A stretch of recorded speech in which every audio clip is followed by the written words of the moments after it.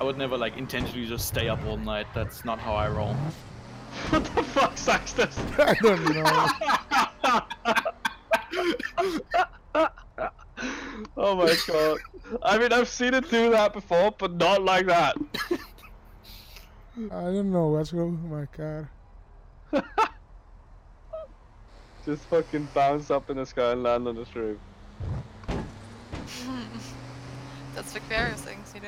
Yeah, but he did that thing where it, like where it bounces in the middle of nowhere when you reverse, and it just landed perfectly on the roof.